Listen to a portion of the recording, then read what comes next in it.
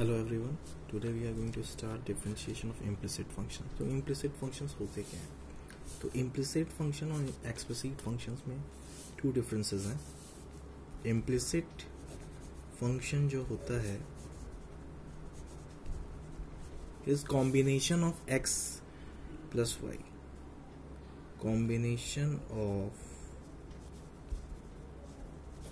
x and y and we can separate x and y from both sides. Suppose function is x square plus sine x y is equal to y square. This is the implicit function. We can't separate x and y separately.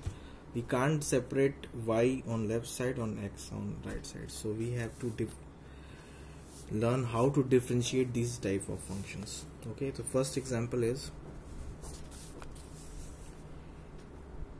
if x cube plus y cube is equal to 3axy then find dy by dx find dy by dx you have to find dy by dx so you have to differentiate as you have to find dy by dx we have to differentiate both side with respect to x क्योंकि differentiation हमें किसके respect में करना चाहिए x respect में क्योंकि हमें पूछा क्या है बाई डी एक्स तो यहाँ पे हम इसको दोनों साइड डिफ्रेंशिएट करेंगे एक्स के रिस्पेक्ट में तो कितना आ जाएगा differentiation of x cube is three x square and differentiation of y cube is three y square but we are differentiating with respect to x so we have to multiply this by dx as a chain rule because this is a function of y then we firstly we differentiate y cube with respect to y and then we differentiate y with respect to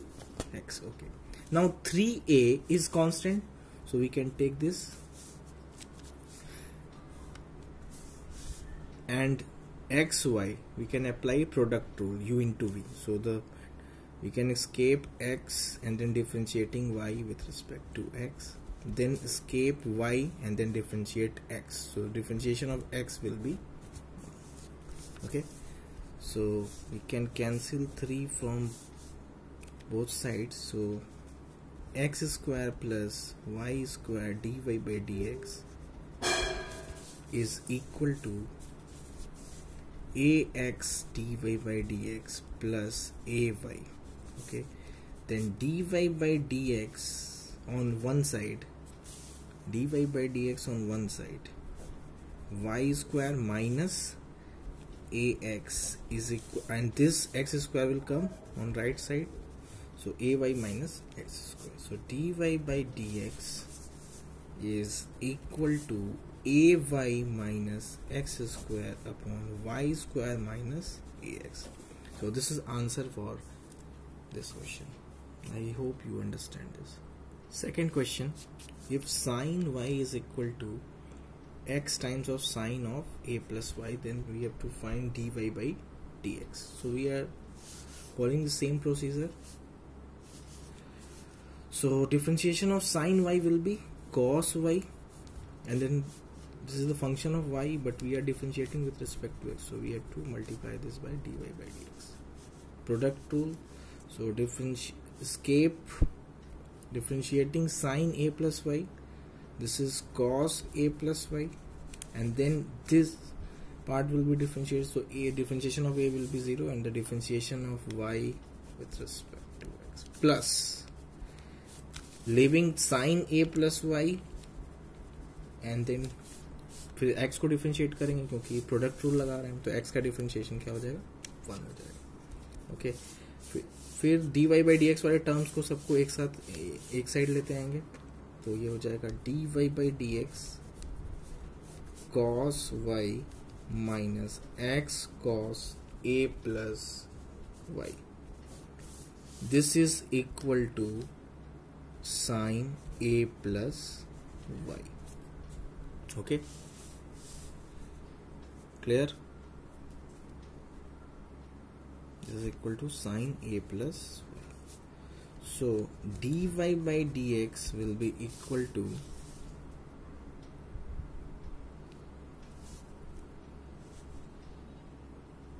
sine of a plus y upon cos y minus x cos a plus y. Okay? Now what to do? Um, here now third question. If y is equal to root x plus 1 by root x then find dy by dx. So dy by dx is equal differentiation of this is root x is 1 by 2 root x. And the differentiation of this will be x power minus 1 by 2 so differentiation of x power minus 1 by 2 1 by 2 root x plus differentiation of this is minus n x n minus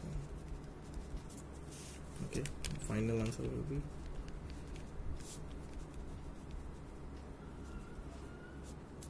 answer fourth question is, if e power x plus e power y is equal to e power x plus y, then find dy by dx. तो dy by dx कैसे निकलेगा? दोनों side फिर से हम लोग x के respect में इसको डिफ्रेंशिएट कर देंगे। तो कितना आ जाएगा?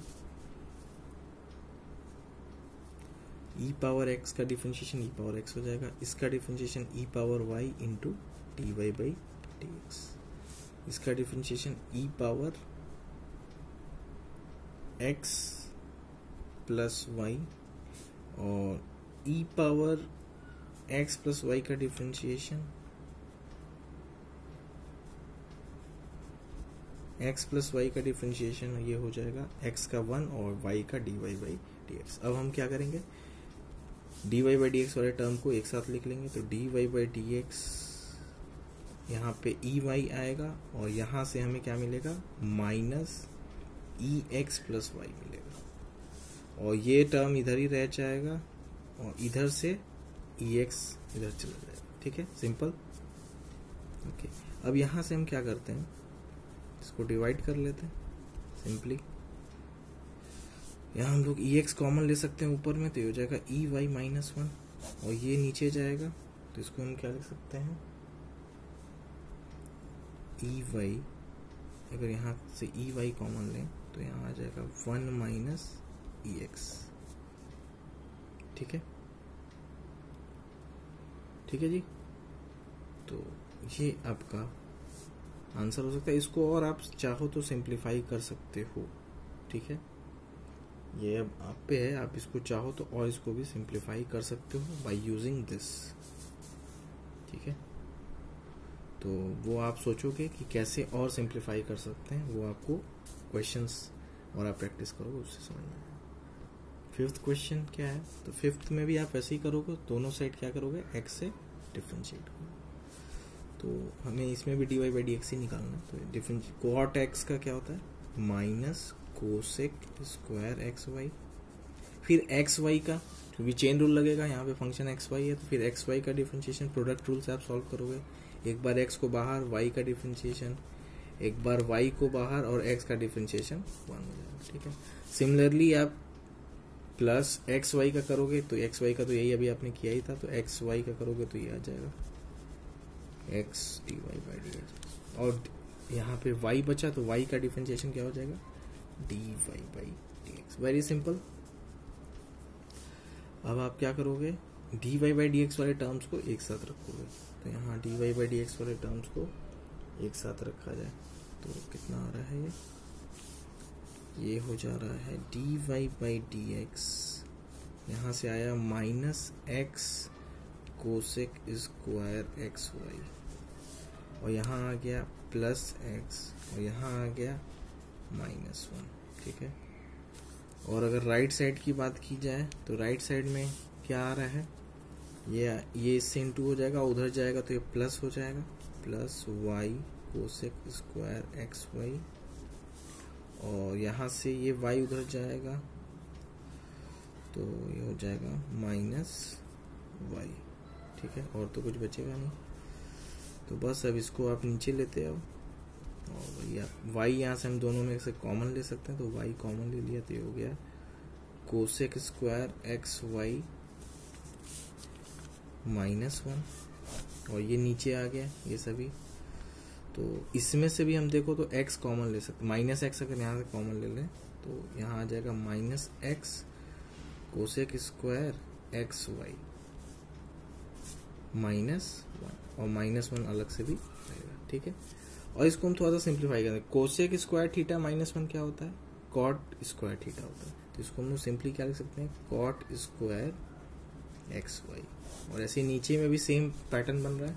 अब यहाँ पे भी यही लिख सकते हो minus x cot square x y minus one और अगर यहाँ से माइनस कॉमन ले लेते हैं तो ये हो जाएगा माइनस ऑफ़ दिस तो ये आपका फाइनल आंसर हो जाएगा, ठीक है? तो इस तरह से आप लोग डिफ्रेंशिएशन करोगे इम्प्लिसिट फ़ंक्शंस में। तो बहुत ही सिंपल है, जैसे हम लोग शुरुआत से करते आ रहे हैं अभी तक आपको ये समझ में आ गया कि सबसे ज़्यादा इंपॉर्टेंट जो है वो है चेन रूल प्रोडक्ट रूल और डिवीज़न रूल यही तीन पे पूरा डिफ्रेंशिएशन है। अलग अलग तरह के फ़ंक्शंस हैं, लेकिन सब में यूज़ वही होना है। तो उसका आपको ध्यान में रखना है कि वो क्या है, क्या नहीं है। क्योंकि हर क्वेश्चन में हम क्या देख रहे हैं? वही डिफ्रेंशिएशन वही प्रोडक्ट रूल वही चेन रूल यूज़ कर रहे हैं हम। कुछ नया नहीं यूज़ कर रहे हैं। बस फ़ंक्शंस डिफरेंट है तो थोड़ा सा तरीका में चेंजेस आ रहा है। ठीक है तो थैंक यू